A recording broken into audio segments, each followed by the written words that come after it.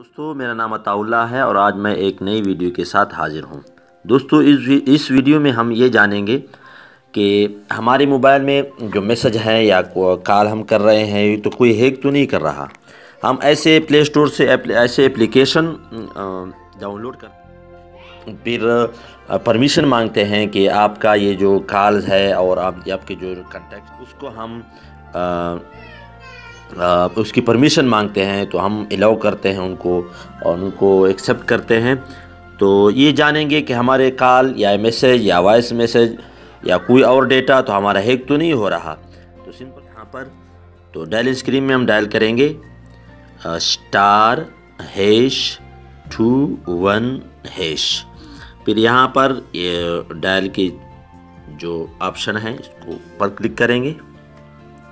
Click करने के बाद ये स्क्रीन आएगा कॉल फॉरवर्डिंग और voice not forward, date, data not forward, fax not forward और एस एम एस तो इसमें जहाँ ये लिखा होगा तो आपको मालूम होगा कि हमारा ये डेटा फॉरवर्ड हो रहा है, हैकिंग हो रहा है या हमारे कोई एस एम एस है या कॉल है या और कोई डेटा है, वो कहीं भी फॉरवर्ड नहीं हो रहा।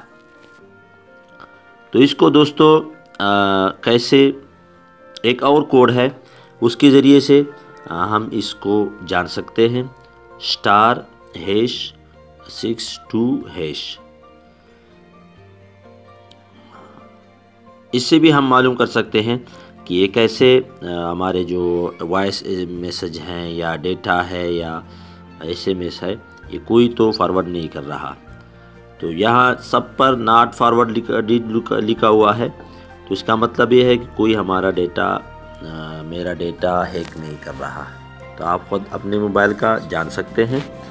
तो दोस्तों इसका क्या तरीका है कि हम इसको हैक करने से अगर कोई किसी का हैक हो चुका है तो वो कैसे इसको ऑफ़ करेगा और कैसे उसको ब्लॉक करेगा? तो उसका भी एक अलग कोड है। उसको डायल करेंगे hash hash double zero two hash. तो इसको डाल करने से आ, हमारा जो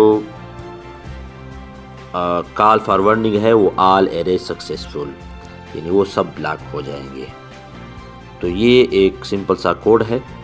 दोस्तों अगर इस वीडियो से थोड़ा सा भी फ़ायदा हुआ है तो मेरी वीडियो को लाइक कीजिए मेरा चैनल सब्सक्राइब कीजिए।